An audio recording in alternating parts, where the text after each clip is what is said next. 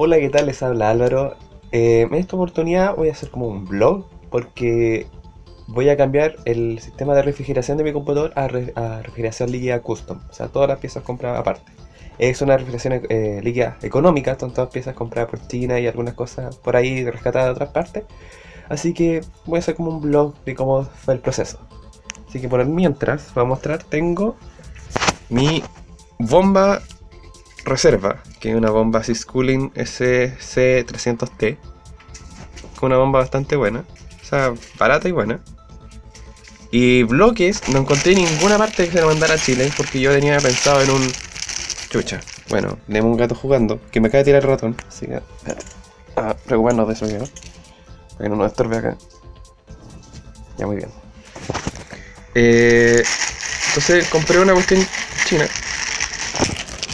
que si bien no es lo ideal, debería funcionar bien. Es una reserva, o sea, una- un bloque para Intel AMD, y es como un multipropósito. Si es que la cámara lo logra enfocar, ahí está. Y bueno, ambas, la- ambas, esta y esta son de 3 octavos. Y viene con todos esos accesorios que están acá con los tornillos y las agarras para la. Actualmente es mi PC que es un Intel i5 6600K overclockeado 4.3. Quiero llegar más arriba aún. Por eso con el sistema de refrigeración líquida y una RX 480 de 8 GB. Y bueno, cables Fantex y cosas más interesantes. Ahora, teniendo estas dos piezas, el radiador lo tengo por acá. Es un radiador de un Corsair eh, H100. Bueno, la bomba falló y la manguera falló, entonces rescatamos lo que es el radiador. Esas son marcas de cartón que quieran ahí. Que tiene cartón. Eh, y claro, las boquillas si se fijan son más chicas, entonces lo que yo tengo que hacer es recrear un adaptador para engordar esto para que quepa ahí, para que no vaya una, ningún filtro, o sea, una, una filtración de agua y me deje la cagar en el computador. Eso sí, viene con. Estoy. Me- estoy esperando las piezas que aún no llegan, que son el líquido, que es un X, eh, un, perdón, un líquido blanco, un concentrado blanco que tiene anticorrosivo, antihongo y toda la cuestión respectiva. Y las mangueras que son de 3 octavos también transparentes. Así que llegan esas piezas y por mientras voy a montar el bloque, la bomba, lo voy a tratar de dejar posicionada y el radiador. Primero tengo que verlo como para que me quede el mismo grosor que pensaba poner una manguera anterior, una manguera más. Eh, una manguera negra que tengo por acá. Sería esta. Y con, con esto yo creo que puedo engordar la pieza. Esa pieza, porque colocándola. O menos este como del mismo grosor, ¿no? Claro. Como del mismo grosor. Entonces, si coloco esta acá, me va a quedar más gordita y creo que me va a quedar más firme. Entonces, eso vamos a hacer primero. Vamos a colocar las piezas y después, cuando esperando a que lleguen las demás. Bueno, aquí ya tengo el computador abierto. Ya hice las modificaciones al radiador. Le coloqué una manguera más pequeña que iba a salir a 3 octavos. A ver, enfócate cámara. Ahí está más o menos. Así que debe quedar como el mismo tamaño de la otra manguera. Si esto lo, lo- voy a tratar de hacer algo muy barato. Y esto, bueno, este es el cooler actual, que es bastante bueno, pero como yo estoy haciendo overclock, me queda un poco corto. Es un Noctua L9X65, súper bueno. No, hay nada, no tengo nada que decir, pero con el overclock se queda corto. Entonces, bueno, básicamente voy a tener que sacar la placa entera, colocar el radiador. Que hay que ver cómo, cómo se coloca, cómo tiene que estar ubicado. Sí, va a ser más o menos así. Con la manguera arriba. Tiene que ser un poquito más abajo. Y tratar de que no topen con estas cosas de acá. Y esto no sé dónde que esta va, a va a llegar. Porque podría ir acá abajo. Ni un problema. Pero me topa con, la con, el, con el cable de la tarjeta. Y no sé si la manguera van a tener la suficiente torsión para, para, su- para subir. A no ser que... No, yo creo que sí puede. Sí le da.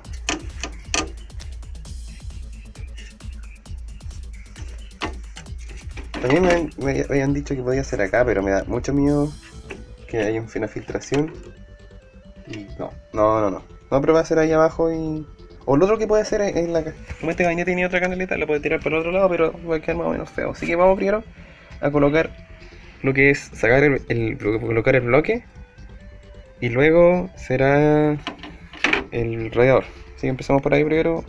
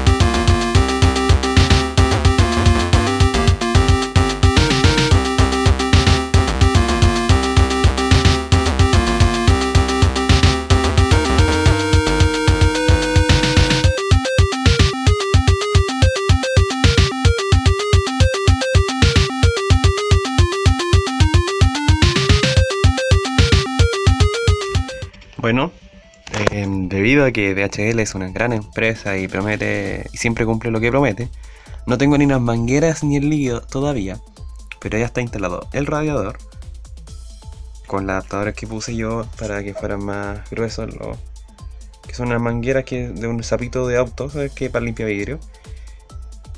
Y el bloque del procesador, está todo listo. Falta solamente las mangueras. Porque acá está la bomba y aquí queda en una ubicación perfecta. O sea, falta solamente esperar. Ahí está.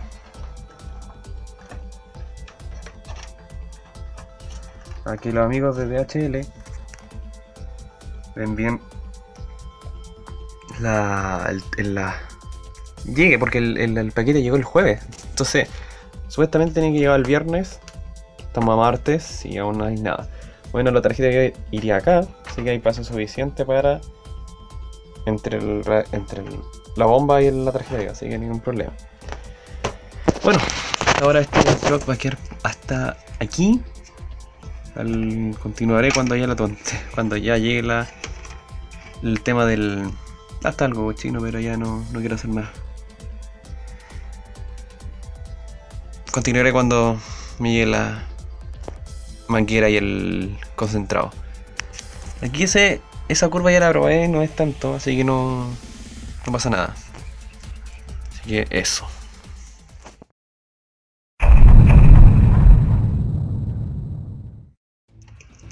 Bueno, luego de dos días esperando el paquete, llegó hoy recién. Día jueves, tiene que haber llegado el viernes. Y después que prometieron que llegara el lunes, llegó hoy, recién hoy. Sale gato. Esto primero que es el SXS, o sea, XSPC, que es un líquido de marca, esa es la marca XSPC, que es con un concentrado blanco. Ya para fabricación de computadores. Mucha gente lo evalúa mal en Amazon porque los idiotas echan todo esto. Y esto es un concentrado que 100 ml, que esta botellita de 100 ml, si no me equivoco, rinde para un litro. Entonces esto hay que diluirlo con agua destilada. Entonces, porque esto es muy espeso. Ya, tenemos uno. Y las mangueras. Son mangueras flexibles de la misma marca XSPC. Especialmente especial, especiales perdón, para esto, que son de 3 octavos interior, 5 octavos exterior, son transparentes, etcétera. Hice dos cambios en el computador. Deja oler la caja ya. Si anda a jugar con la caja, juega acá, juega acá. Los primeros dos cambios, no sé si se logré ver, fue que cambié los tornillos del bloque. Lo, del bloque. No enfoca. Bueno, aquí hay unos resortes. Los cambié por fuera, o sea, que presionen el bloque. Y los radiador, les puse los ventiladores primero.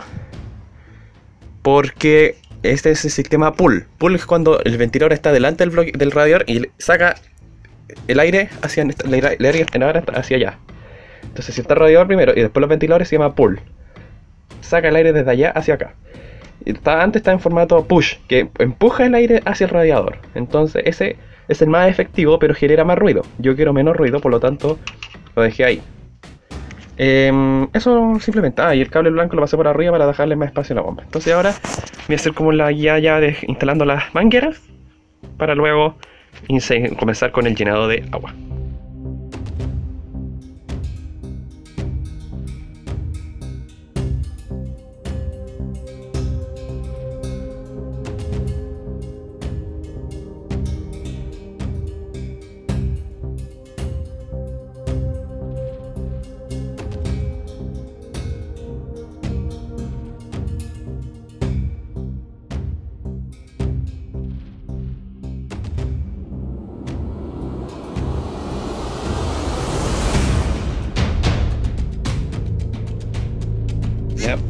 Tengo listo lo que es el tubing, ya con su eh, toalla nueva por si acaso si se derrama algo, viendo si hay una fuga. Em, ahora lo que tengo que hacer es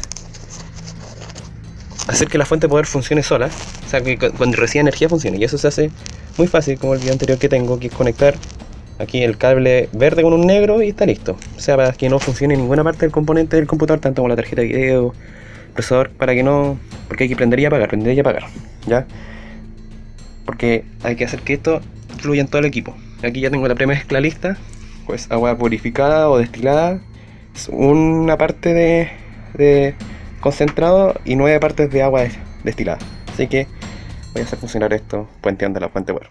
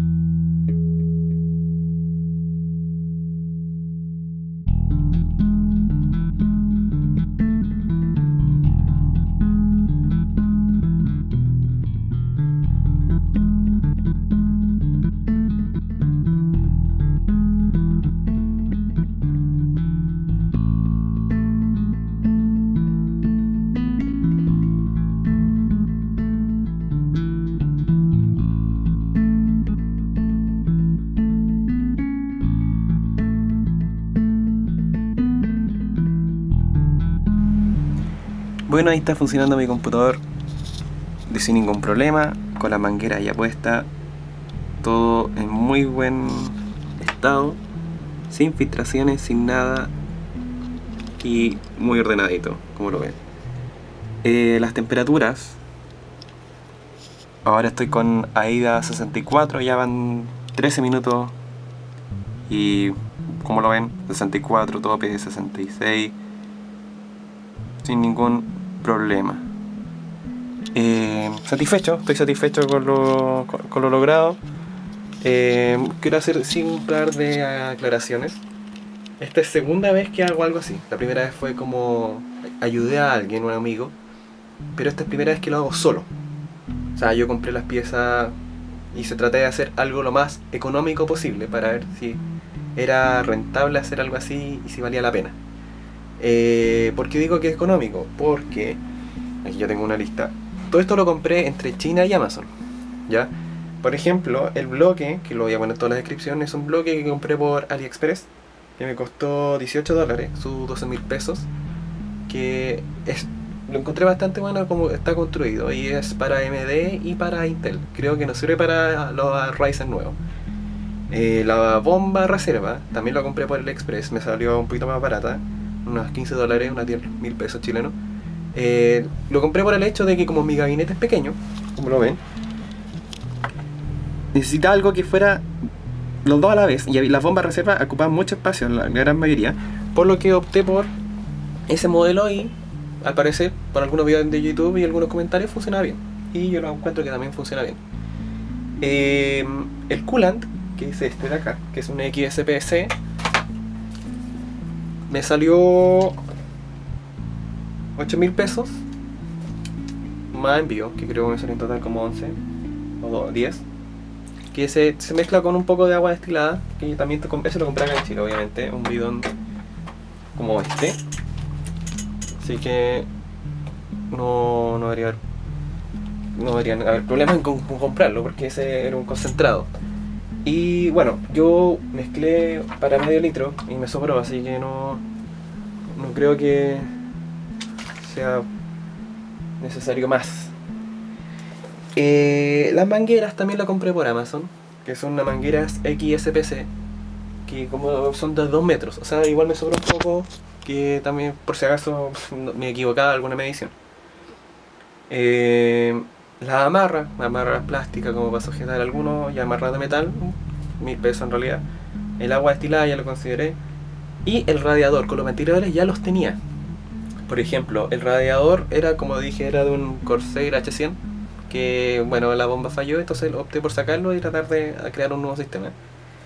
Y los ventiladores los compré por Amazon, que son los Arctic F12 eh, de, con BMW, o sea, la que se controlada por vía revolución, o sea, por vía el cuarto pin del, de los ventiladores.